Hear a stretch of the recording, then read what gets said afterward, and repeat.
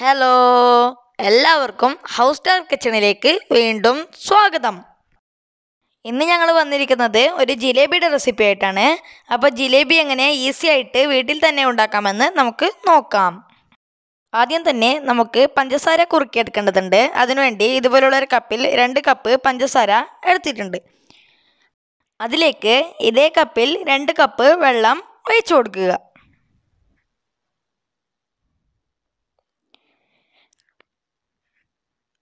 അതിനുശേഷം നമുക്കിതിനെ കുറുക്കിയെടുക്കാം. എന്നിട്ട് മറ്റൊരു വട്ടത്തിലുള്ള പാത്രത്തിലേക്ക് കാൽ ടീസ്പൂൺ ഉപ്പ് ഇട്ട് കൊടുക്കുക. കാൽ ടീസ്പൂൺ ബേക്കിംഗ് പൗഡറും ഇട്ട് കൊടുക്കുക. കാൽ ടീസ്പൂൺ കളർ ഇട്ടതിന് ശേഷം ഇതുപോലുള്ള ഒരു കപ്പിൽ ഒരു കപ്പ് തൈര് ഒഴിച്ചു കൊടുക്കുക. അതിനുശേഷം നമ്മൾ പഞ്ചസാര എടുത്ത അതേ കപ്പിൽ രണ്ട് കപ്പ് മൈദ കൂടി എടുത്തിട്ടുണ്ട്. ഇപ്പം നമ്മുടെ പഞ്ചസാര കുറുക്ക് റെഡി ആയിട്ടുണ്ട്. അതിലേക്ക് ഒരു പകുതി ചെറുനാരങ്ങ പിഴിഞ്ഞു കൊടുക്കുക. ഒട്ടിപ്പിടിക്കാതിരിക്കാൻ വേണ്ടിയാണ് ഇങ്ങനെ ചെയ്യുന്നത്. അതിനുശേഷം നമ്മുടെ മാവിലേക്ക് ഒരു ടേബിൾ സ്പൂൺ വെളിച്ചെണ്ണ ഒഴിച്ചു കൊടുക്കുക. അതിനുശേഷം നമ്മൾ മൈദ എടുത്ത അതേ കപ്പിൽ ഒരു കപ്പ് വെള്ളം ഒഴിച്ചു കൊടുക്കുക. അതിനുശേഷം നന്നായിട്ടൊന്ന് മിക്സ് ചെയ്തെടുക്കുക. ഇനി നമുക്ക് എണ്ണയിലിട്ട് പൊരിച്ചെടുക്കേണ്ടതുണ്ട്.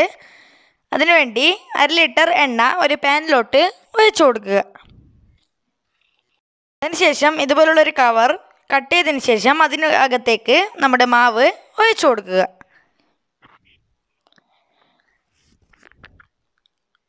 അതിനുശേഷം ഇത് ഇതുപോലെ വട്ടത്തിൽ ചുരുട്ടിയതിന് ശേഷം ഒരു റബ്ബർ ബാൻഡ് വെച്ച് ഇതുപോലെ ചുറ്റി കൊടുക്കുക.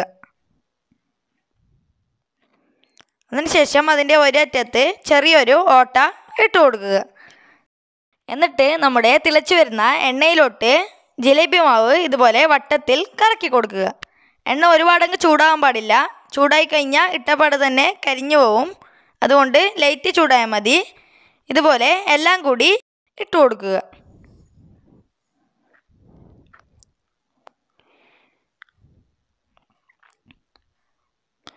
ഇപ്പം എല്ലാം കൂടി ഇട്ട് കൊടുത്തിട്ടുണ്ട്. നല്ല പൊങ്ങി വന്നിട്ടുണ്ട്. ഇപ്പം റെഡി ആയിട്ടുണ്ട്. നമുക്കിതിനെ മാറ്റിയെടുക്കാം.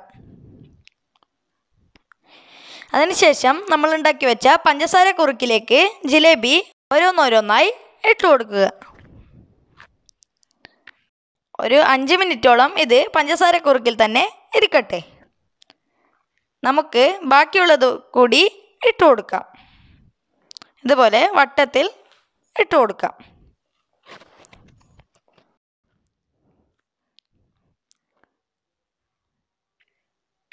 ഇപ്പോൾ എല്ലാം കൂടി ഇട്ട് കൊടുത്തിട്ടുണ്ട്.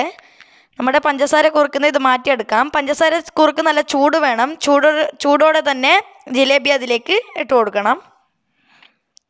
ഇപ്പം നമ്മൾ ഇപ്പോൾ ഇട്ട ജിലേബി കൂടി റെഡി ആയിട്ടുണ്ട്. അതുകൂടി നമുക്കൊന്ന് മാറ്റിയെടുക്കാം. ഇപ്പം നമ്മുടെ ടേസ്റ്റി ആയിട്ടുള്ള ജിലേബി റെഡി ആയിട്ടുണ്ട്.